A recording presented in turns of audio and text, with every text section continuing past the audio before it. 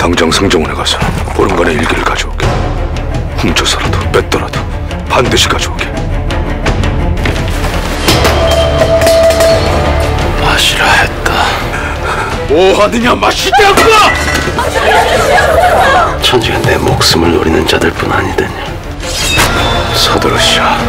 똑같이 생긴 자라 아무도 믿을 수 없어. 죽고 싶지 않으면 지금부터 내가 하는 말을 잘 듣도록 해라. 잠시 후 주상 전하를 뵈러 갈 것이다. 고개를 들거라. 당분간 네가 대역을 해줘야겠다. 사람 아주 제대로 터졌네. 공원 사방에 눈과 귀가 열려 있는 곳이니 각별히 조심해야 한다. 전하, 들라 해라. 말투가 점점 전하를 닮아가시옵니다. 나도 어떨 땐 내가 짙게 임금이었어. 저기 저 여인 말이오. 충전 마마이옵니다.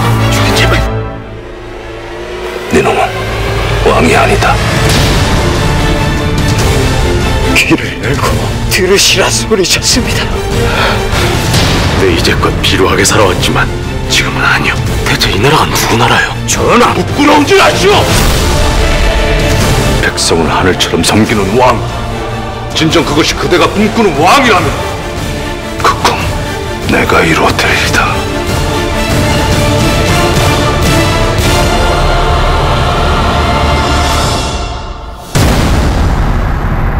왕이 되고 싶소이다.